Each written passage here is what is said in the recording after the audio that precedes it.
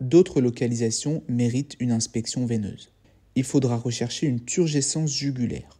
Le patient doit être positionné en décubitus dorsal avec un buste relevé de 15 à 20 degrés. À l'état normal, les veines jugulaires sont plates à l'inspection et peuvent être visibles au cours de l'expiration.